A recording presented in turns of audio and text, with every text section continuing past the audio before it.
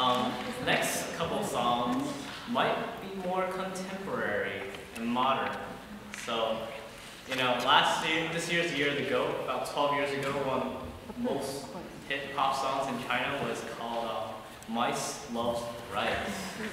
and before that, we must show another contemporary song called Gray Black Sweater by Jay